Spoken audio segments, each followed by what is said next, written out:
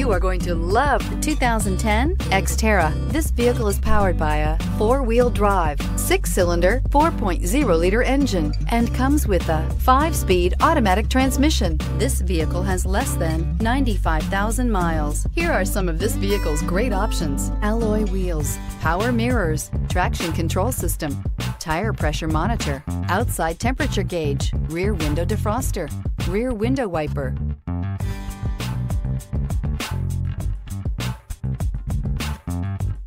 Inside you'll find auxiliary audio input, steering wheel, audio controls, security system, cruise control, child safety locks, tachometer, climate control, reclining seats, cloth upholstery, side airbag system. Come see the car for yourself.